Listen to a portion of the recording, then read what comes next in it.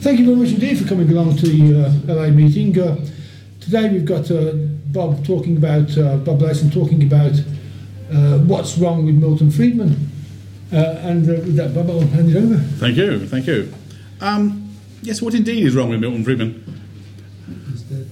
Well, he's dead, but and of the departed, one is supposed to say, Let us now praise famous men. He is undoubtedly a famous man. Or you could put it as, Let us lambast famous men, because as a point of honour, if you think very highly of them, you should try and find some fault in them so they can be improved upon, so that their good work can be made even better. Yes, indeed.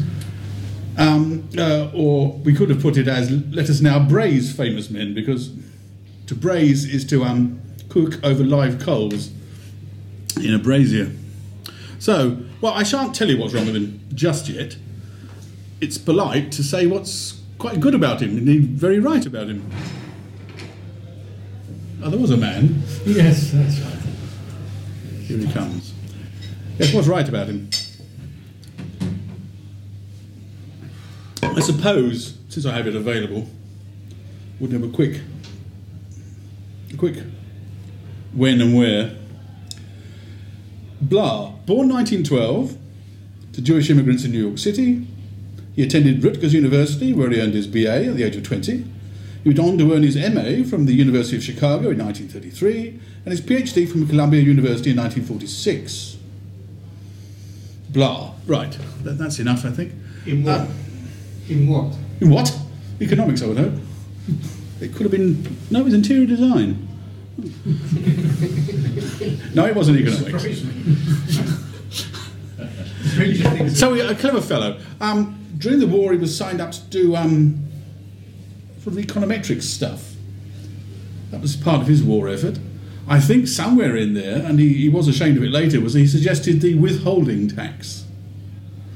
Uh, we call it the income tax, the pay as you earn income tax. So, in other words, it's simply taken out. We, no. Don't worry about it. Don't worry about giving it later and lying. We're going to take it now. And your, your employer is going to tell us. Your employer is going to tell us the truth about what you're earning at his place. Yes.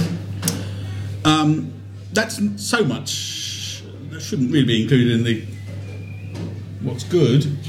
I think it's probably best to shut the door. No, the, or the outer one. No, that one will do. They know where we are. That's better.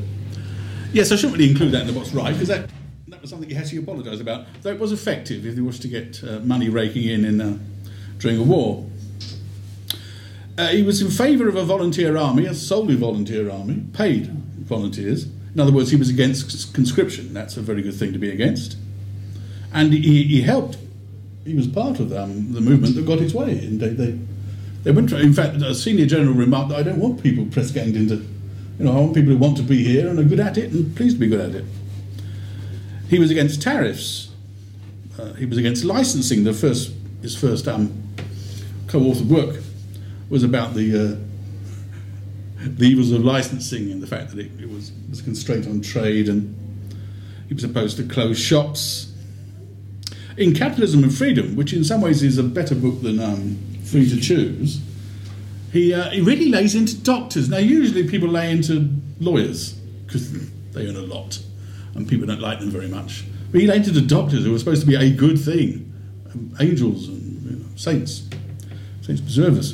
But he saw that they um, they quickly rigged the whole thing in their, to their advantage. They they now have, as with the common agricultural policy in, in Europe, we now have um, reserved prices for for things and um, reduced output, if at all possible, to keep the, uh, the prices up. Though it also applies in this country and in America too, because of um, illegal aid, as another way of keeping the prices up for um, closed professions, professions who um, make moves and prevail upon the state to um, protect the public by having um, authorised teachers and authorised universities and authorised colleges and correct degrees and the rest of it, just to keep the numbers down and the uh, the earnings up. And he saw through all that, and he opposed it, and that was a good thing too. What else is he good for? Please come in. Famously for explaining inflation. You wouldn't have thought it needed much explaining, as um, if people are spending a lot more money, uh, there must be a lot more money to spend. And and someone must have made it. And as it wasn't being dug out of the ground and turned into coins, there must have been some other source of this money. And of course, uh, the banking system, and behind it, the government or some agent of the government posing as independent but not being so, which, of course, is the Fed in America and the Bank of England over here. So he saw that um, inflation of prices was always and everywhere a result of inflation in money. And this is pretty much accepted now, but at the time it was, it was rather difficult to get the Keynesians to admit to it. I mean, they thought there couldn't be true inflation until everybody was employed, at least a job and a half each. Otherwise, it was so, it was due to something else. It was um, too much money chasing too few goods. So it was it was the too few goods. The British weren't making enough goods. If they made enough goods, they wouldn't, they wouldn't get inflation. That was ridiculous.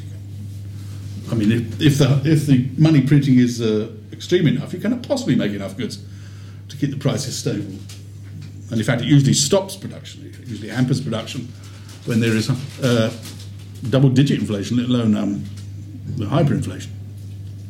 So he's good about explaining inflation. I remember a, a lecture he gave, a public lecture, televised, I think, or at least a recording was made and shown, at some college in London, some bear pit with the raked auditorium and the, the lectern or the desk at the front. And they were always howling at him, howling at him in a polite way. How can you say, how can you say?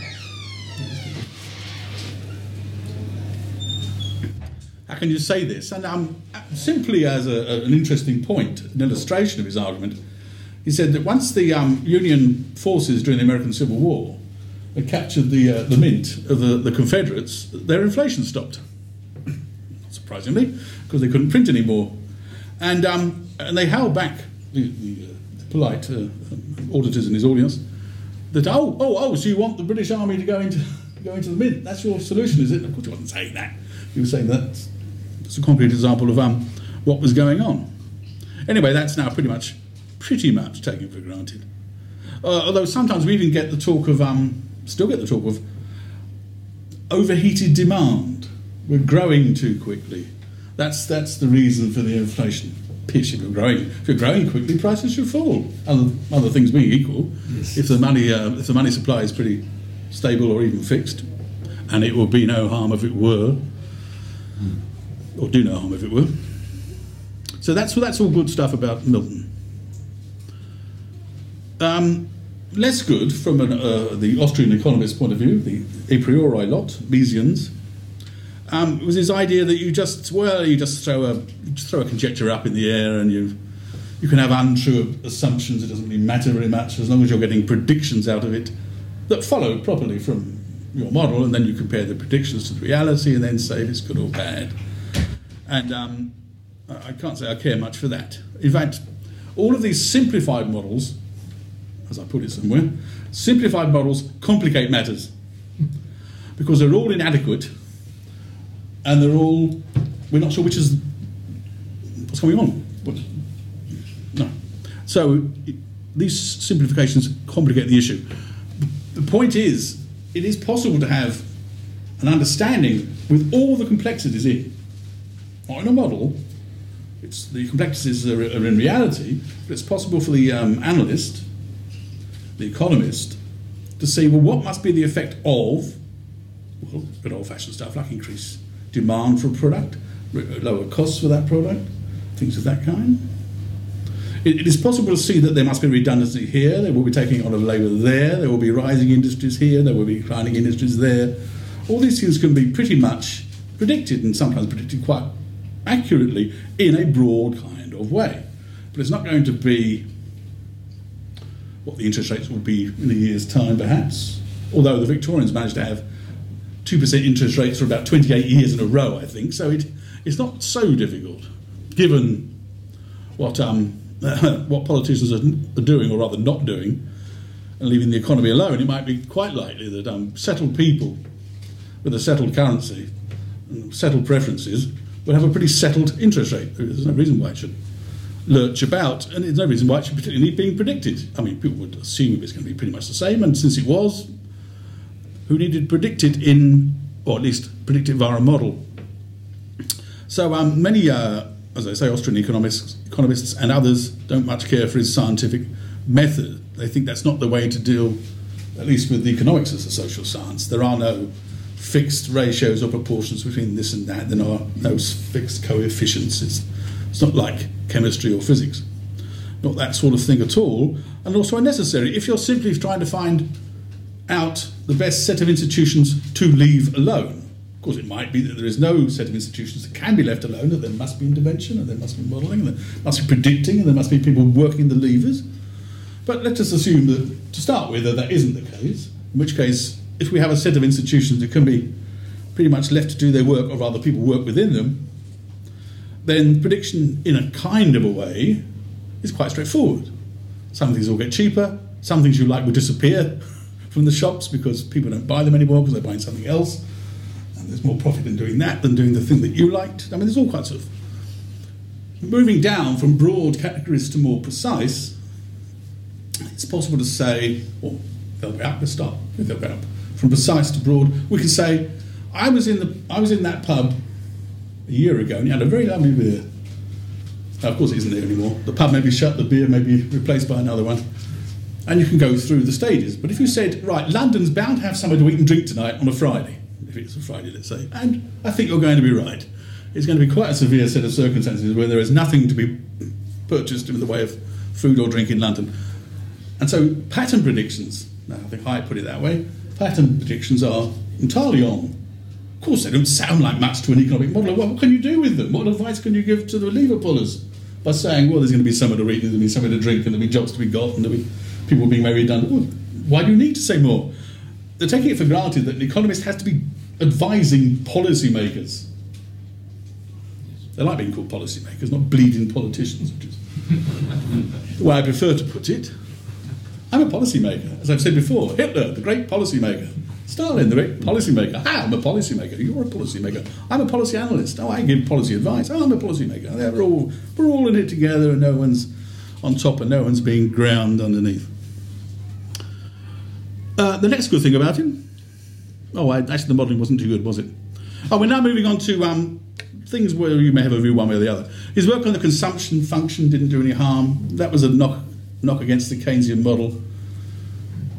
Because Keynes thought, well, people, people get more, they spend more. So if you can give them a bonus or cut taxes or print some money and shove it at them, they'll rush out and spend it, and that'll get the whole thing moving along nicely.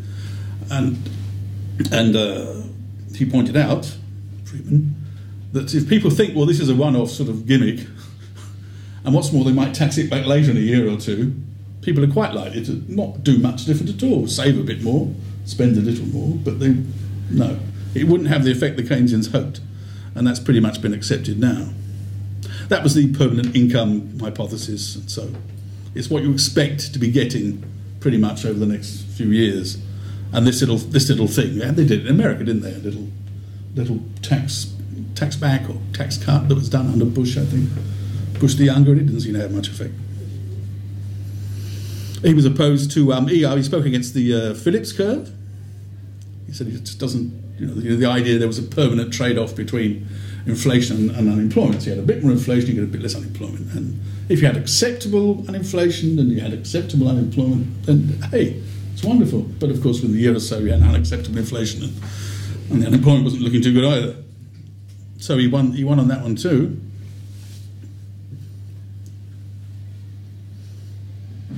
He opposed income policy as a cure for inflation, but then he would, given what he saw the cause of inflation was, utterly, utterly unrelated to the activities of the trade unions. Now, it may look to someone who hasn't done the economics that you know, the trade, there's, there's strikes and trade unions demanding and trade unions getting, and the bosses having to meet the demands of the workers and all that. Surely that that's that's where it comes from. And then everything's everything's so costly, you have to pay more for it. But how can you pay more without more money? Simply enough, that was it wasn't that was sort of stunning insight eventually. And then agreed to because it was so obvious. I no one ever believed otherwise, including people who did believe otherwise, but won't admit to it.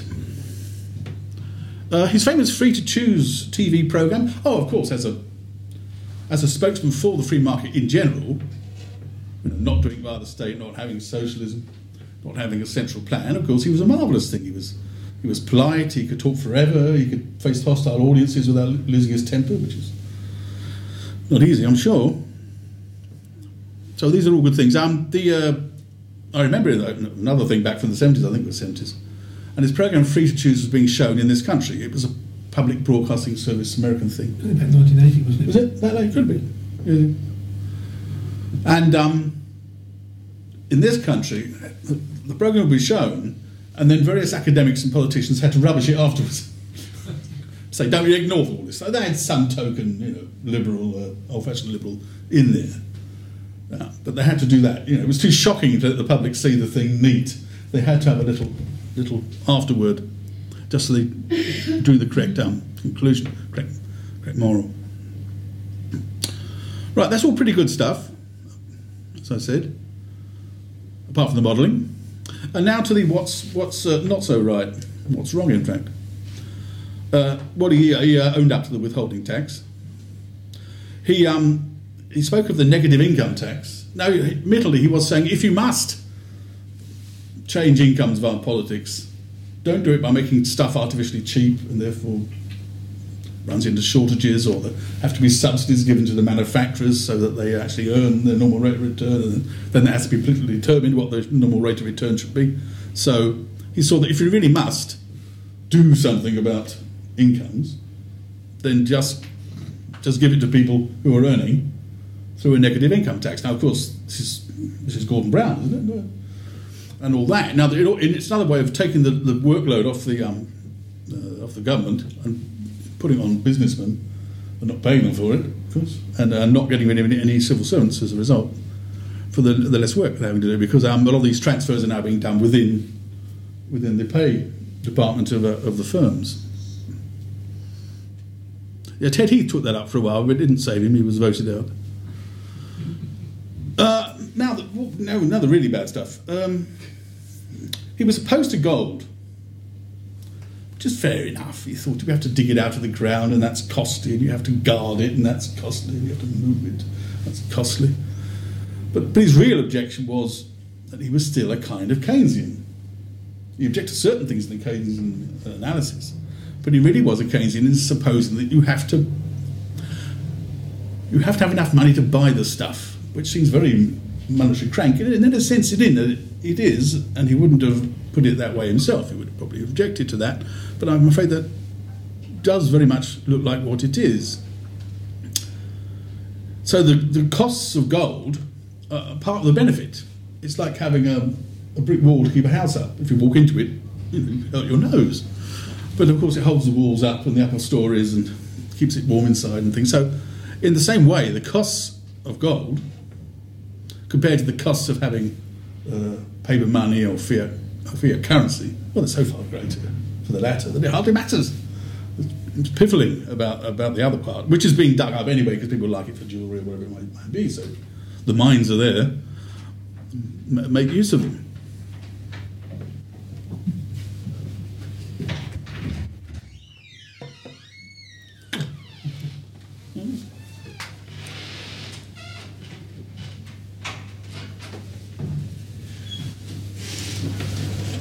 And of course, another cost of having fiat currency is that fiat currency is going to be a national fiat currency, possibly the euro, which is a sort of hybrid, but it is um, a fiat currency. It means you don't get a single world currency, which is something much to be desired and easy to obtain. Um,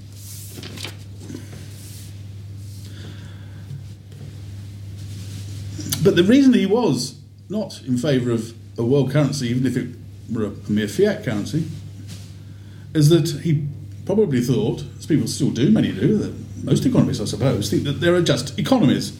There just are economies. And you can talk about exports and imports and external drains and what have you, but um, they think that these different economies require different policy. If you're going to advise the policymakers, there must be policy for the country and they have so they have their own currencies, and that's no bad thing because you have to fiddle around with it to make things work. That's that's their view. That's his view, and uh, many others too. So it wasn't a drawback that there was a national currency and a central bank, and there were different rates of inflation. He said he didn't recommend. Well, he actually, may have recommended that, but what he did, what he did say, and quite rightly, if you're going to have currency creation and a national currency, and you're going to do it in your own interests, as you think best for the national interest or getting re-elected, possibly, um, don't have a fixed exchange rate because that's just silly. Because if countries are inflating, they hardly ever deflated, but if they're inflating at different rates, then there'll be a great strain on the um, on the exchange rate, and something would have to give, and um, interest rate might, interest rates would have to be jacked up. In desperation, that usually didn't work because you were making you're pumping out so much money compared to your neighbours that the interest rate wouldn't save the external drain, so called, or the fact that the people were so rich, in one sense, in money terms, before the pound depreciated, that they could afford more um, imports. And then, of course, there was the dreadful adverse balance of trade, which was supposed to show how the country was going down like an old ship. It was about time it joined the common market or something. That was that was part of the reasoning behind it. And it wasn't it wasn't because British economics were slack or slow or well, no more than I am. but the point is, you can be a poor country with a perfectly sound currency. That, that, that's that's relevant. Poverty doesn't make you have means you can't cope with the whole currency. You just have it's a lower wage. You have you're low, you know, you're less productive. You have lower wages. What's the difficulty? I mean, difficulty is you don't like it, but it's not imposed upon you. It's not something strange and alien. And oh, why does this currency doing it to us? And you don't make yourself rich by having more of it because it just devalues. So the, there's no advantage that way. So he was right about if you must must have separate rates of inflation in different national economies, so called. Uh, my view on economies is that there's only one. It's a world market.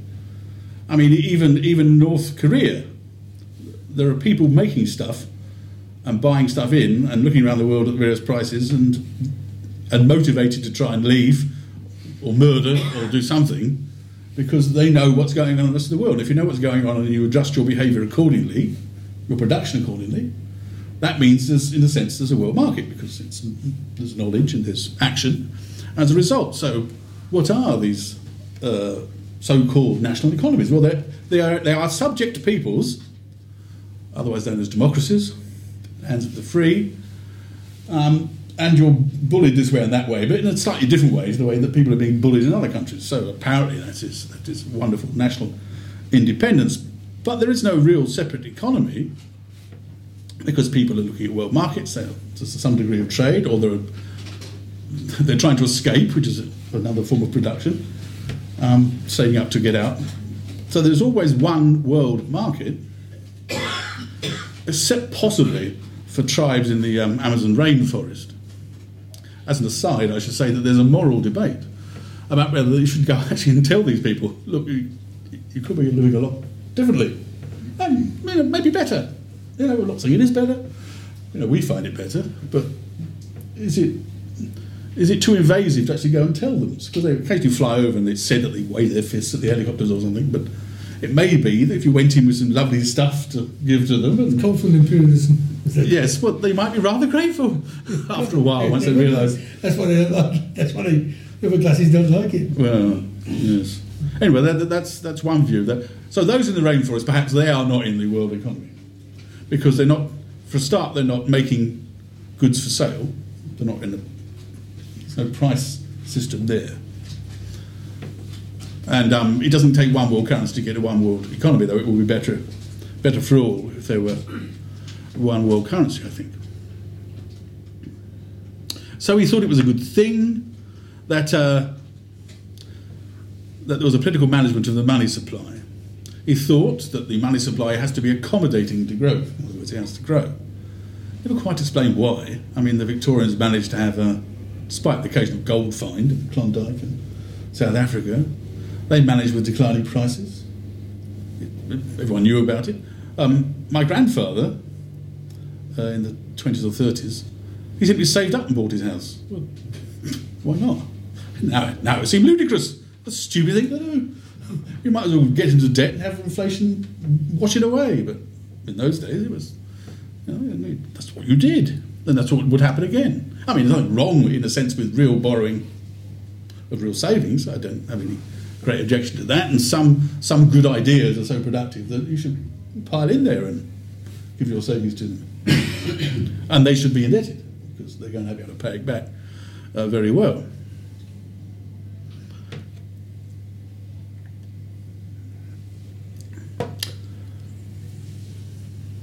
Uh, yes, debt deflation.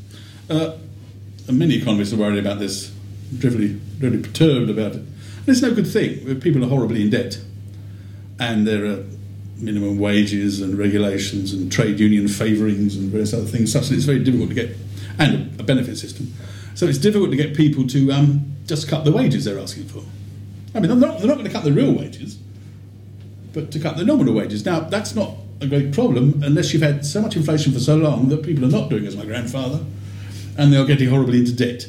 That if you're in horribly into debt and you have to cut your nominal wage but still pay the same nominal um, debt off if you can, then that, that can lead to trouble. But uh, well, I've said, some, said to someone, if you don't if you don't want it, don't have a concertina economy. In other words, don't have money that can fall back to nothing. You don't need it, so why have it? We could even now, with um, if Bitcoin manages to work properly or something like it, But I can even have an utterly fixed money stock. It wouldn't do any harm at all once you've adjusted to it, lived with it, and prices would, do what they have to do. But uh, Friedman and many others thought that you have to maintain a nominal demand. Oh, well, I recommended him before, but if you haven't read it, uh, David Stockman's enormous book on um, the Great Deformation coming of crony capitalism to America is extraordinarily good. It is a very badly edited book. It could have been much improved and made smoother and a better read. Well, it's a great read, but I mean, in the mere prose angle, it could have been. And he rushed it out and he probably edited it himself. And, but it is a wonderful thing. Uh, of course, I happen to agree with it all, pretty much, but that's because he's right. That's, that, that's if I'm right.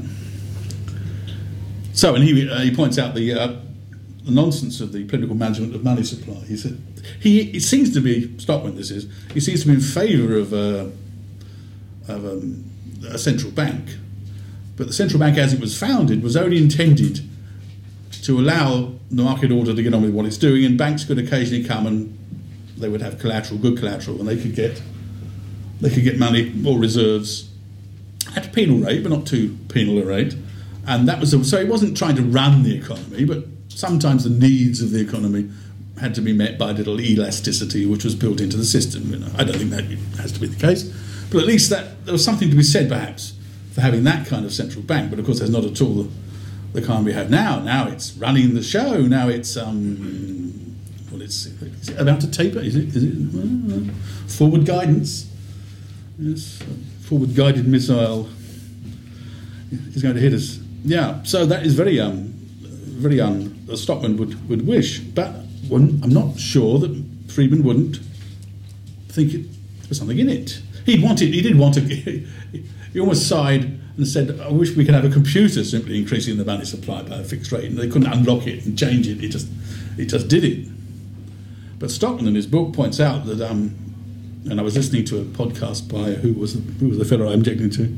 Oh, Scott B. Summer, Sumner, who's a, who is a monetarist in this, who, who thinks that it's vitally important to have the nominal GDP targeted by the central bank, and um, and then you get what you want somehow. The, the, the, causal cogs are not explained in any way, but it's thought that that's what you get. After all, a certain amount of spending gets has a certain amount of activity. Well, yes, an object can cast a shadow if there's a source of light, but the shadow is neither the source of light and the shadow is not the object. And it's a bit like that, in my view, with, with cash transfers, with spending. It's something we get as a result of production and valuing produce. So it's the old story. You make different products, you swap them. You want that, you want this. You want. That's that's simple, and that's that's all that's required by way of analysis. They, they really are simply wrong to think that, and we've now had the hypothesis has been tested almost to destruction, as Stockman pointed out, because there are trillions lying in reserves, and it's not rushing out to um, turn the wheels of industry.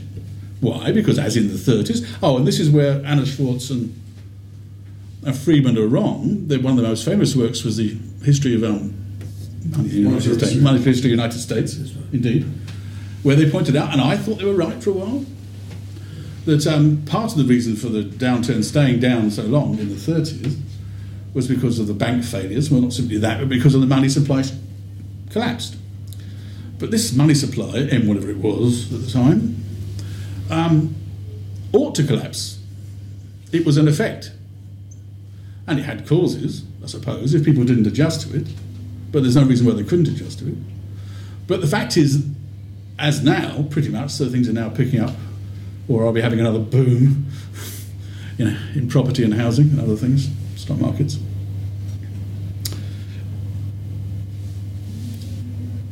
That the reason the money supply shrank was because the business was bad. It wasn't bad business because the money supply shrank. These things can feed on each other, but they don't necessarily have to. What happened was, as now, is that there are no decent people. People don't want to borrow. Some that do don't deserve to have anything. They're just too risky. And the whole the, the whole thing is working at a lower level, especially in the 30s in the world economy when prices fell by 10s, 20s, 30s. Unemployment employment fell by 10, 20, 30%. But this wasn't simply because people weren't borrowing, or there wasn't money to borrow, or there weren't reserves. There were loads of reserves. I mean, in Canada, in Canada, not a bank failed. I might add, might add, they didn't have a central bank until later. Didn't really need one, but they had branch banking in America, which meant that you weren't simply having the same old farmers with the same old crop who could all go bust together, as happened in many branches in America. But most of the bank failures were small in America, and, and, and that's not the real reason for the collapse in the money supply. That was simply that there were debts written off there were uh, debts called in, there were debts paid off. That was the reason, they were, and they weren't, they weren't replaced by more debt taken on. So, of course, in that sense, that M, whatever it may be, figure will be much lower. But it was an effect, uh, not a cause. And from whatever level it, it was, given saving, flexibility as regard prices and wages, as happened in 1920, 21, in America, there was an enormous shock. They never tell you about it, of course. Massive collapse in prices and employment, and within 18 months it was all back to normal and booming. And the government did nothing. did nothing at all. Right, so um, Milton is still a kind of Keynesian and he's still wrong. He thinks there should be a correct and different policy for each polity, in other words, has been modelling and uh, analysts and advisors and a central bank twisting, and turning, adjusting.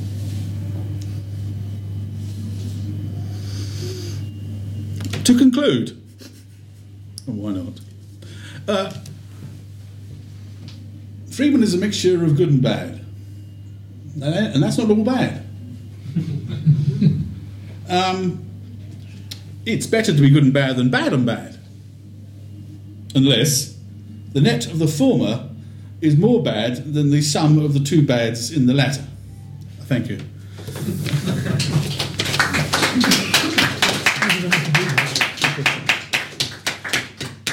Is there any questions or contributions or criticisms? I hope there's no logician in the audience that says that a true, that says that a true and a false makes a false. this, this is economics, not logic. It's David? Well, I, uh, you didn't answer your ah. Question is the net. Oh, in, in, his case. in his case. It's too early to tell. Was it jo- Zhou Enlai said that about the French Revolution? Or yes, that's right. I, I think it's he was a force for good in his in his as propagandist. in his propagandist, his advocacy work. Yes, yes, and some of his stuff about about licensing, the draft. He was right, right, Right, yeah. I like him. I like him for that. And yeah, he, he made a good son as well, which is anyone could do that.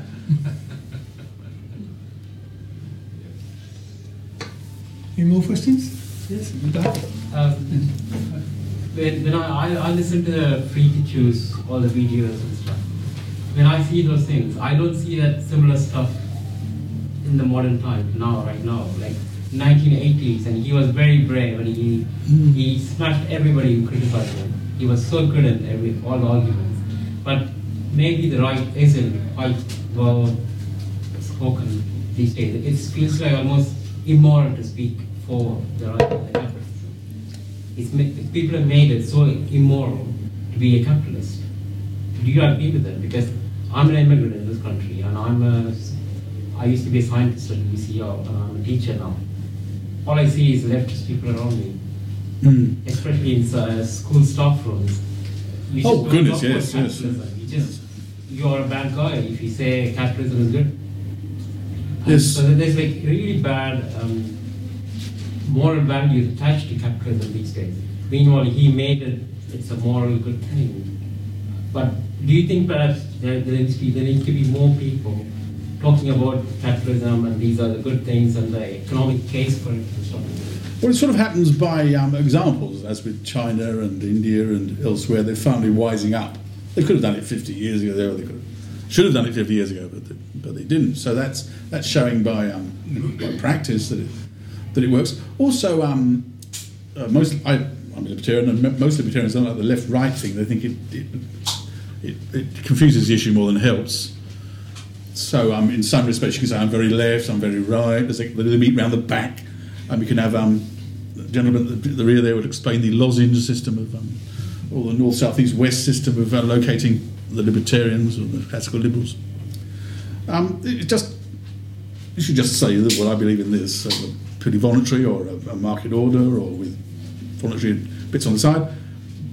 There are various ways of doing it. Um, you're right, people aren't advocating it quite the same way, but partly because it seems to have worked. You know, at least people learn from their mistakes. So there seems to be a great more market around the world than there was. And also, um, there's so much of the crony element that goes with the capitalism, which need, it need not.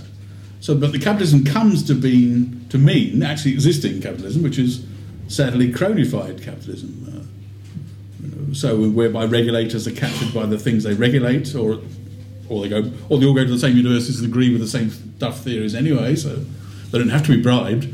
They're going to do the wrong thing anyway. Um, and the bailouts, well, meltdown, meltdown. Heavens are falling. Well, my view was, uh, I think as the Swedes did, you um, dismiss the heads of the banks. They get nothing, no bonus, no, go away. Um, the banks are uh, nationalised. I'm not arguing for this. I'm saying it's less, less bad than what was done. Um, uh, the money is saved below a certain sum, and then they're later returned to the market. That's what should have been done. That's what could have been done. A, a true catastrophe is when there's an epidemic, or, or wars, or earthquakes, or volcanoes, or something. But merely that some banks behaved in ludicrous and unsafe manner, and not surprisingly became a cropper. Well, so in a sense, so what? I say this as a Lloyd's investor, thanks to my dad, and uh, and a Lloyd's uh, uh, account as well. Um, but they could have done it so that anyone with less than you know thirty thousand pounds or under was all right, and the rest could go whistle for it. It was your own fault for not paying attention to what banks were doing. Of course, they might have led to rioting in the streets or something. I don't know. But the fact is that the supposed appalling meltdown, it was a meltdown in what? In what? All the talents of the people were there, all the farms were still there, all the rivers ran down to the sea, I think, still, even despite the monetary um, situation. No. You simply adjust apart from the problem, uh, adjust to whatever whatever money supply there is after this wreck. But the trouble is, because of the problem of massive indebtedness, in, in, much encouraged by all the monetary creation, that would have could have caused all sorts of troubles. But it could be swift. I don't know how it will be done. I'm not. It's not. People work through these things somehow. But the idea that it was akin to you know, the end of civilization as we know it, just. No, there's, there's plenty of money out there willing to start a new bank or grow a, an existing bank. Or, so that, that would have worked. Could have been done, but wasn't done. They managed. I don't think it's so much cronyism. I think they just politicians just thought, oh, oh shit. Pardon, know, it's a technical term. Um, oh, what was it? Bush the younger said, "This sucker's going down." he said of the of the economy. Therefore, um, things had to be done, and that and that was an enormous bung to uh, to the banks. Not that the government has a big box of money that it's put aside for a rainy day, as even Keynesians used to think that they should do. In other words, you, in good times you save it up, and then bad times you spend it. No, no, it's all that's already got much spoken for and blown, and, and they're borrowing themselves. So. as for the as for the capitalism thing, um, I don't mind the word, but these these uh, these socialists want their rattle. Well, they want their little toy to play with. It's not fair that you won't let me call it capitalism. Call, call it the market process or something. I, I can't get excited about that. The market process doesn't wear a top hat, never gold top cane, and mm-hmm. stripy pants and things. No, no. So I'm not too fussed about the word, but you should, you should certainly argue for yeah, private property, private production, free exchange. Yeah. Pat? Uh, yeah, I, am surprised you, you, didn't sort of examine uh, the, the, Thatcherite take on Milton Friedman um, with, with, her, you know, whatever you want to call it, but her take on what Friedman meant and uh, how, how to put things into practice. Mm. Um, they didn't get that much wrong. They her, her idea of market forces. There, there, was another economist at the time. I forget his name now. It was Patrick something. Minford. Yes. Because he was a mother. He's still around today. I, read, I read once, uh, many years ago, that um, Mrs. Thatcher, she wasn't that well up on economics because she studied chemistry at Oxford. So she used to get this Patrick Minford around on a, a Sunday afternoon after she had Sunday lunch to teach her about economics. Yeah, that's reasonable. And it was rumoured that he thought that she had about G- GCSE level of economics. Well, she, she led the she led the pack then. Politics. You only you only need GCSE level of economics. Yeah, that's, that's just enough information. After that, they start to go wrong. Yeah, well, right, yeah. I think you're correct there. Her sort of take on this uh, Friedman stuff was about she believed in market forces. Yes, I mean, I, I, everything everything she sold. I mean, literally everything was nothing was sold at the market price. I mean, it was a completely sort of warped idea. Well, except the council houses. Except the council houses were sold no, below market price. Market prices. Below. Well, yes. people were buying their. Yeah, uh, I'm very pleased that that People were buying their hundred. I live in one. Pounds, yes. Uh, houses for twenty, for less than twenty. Yeah, yeah, that's good. Um, I mean, yeah, I mean that's as good example. I, uh, yes, I, I like to refer to Margaret forces. no one ever said that. Well, perhaps they did. Yeah, because a lot of it was, yeah, of course, politics. Fair enough, but she she accepted that um, unemployment was not caused by a lack of you know, insufficient inflation. That you know, either asking too much, or you're in a subsidised industry, or you should retrain to go somewhere else, or in the wrong part of the country, whatever it might be. And uh, it's not her being harsh; it's the circumstances being difficult for you. But that, that just happens. It's what you're going to do. Change. You can't change the circumstances with a wave of a printing press. It's not so easy to do. I mean, certain things had to go. I mean, uh, Scargill said that the, you know, the, the, Tory, the Tories had a, the Tories had a hit list of mines that were going to close. It's not a hit list; it's a pencil and paper. You say, right, what's the price of world coal? Uh, you can shovel it out of the ground in Australia. Here we have to dig enormous holes and go going for manual fracking, which ought to be a good thing when miners did it. When it's hydraulic fracking, it's ought to be the um, appalling. It ought to be stopped. Anyway, the, so she did try and say, look, if it if it pays, it'll take care of itself. It'll need no subsidy. It'll need no. It will need nothing from me if it's worth doing. And of course, m- many of the coal mines were not worth having. But, so, so even the ones that were had to subsidise the ones that weren't, because all had to be in the bonus scheme, which meant that mines that were losing money turned out more coal and lost more money. So that, that had to face reality eventually. Yeah. Well, it was, I mean, importing cheap coal, and it was all well and good. There's nothing wrong with that. But once there's barriers have gone down between the two different countries, then it becomes a problem. Mm. That's it. Uh, any more? Yeah, I'm not going to say. Any more? This is my answer that. A- Any more? Well, it was exhausting. Nothing to say? Well, Thank you and good night. We'll continue in the park. Yes. Any other? uh, We shall.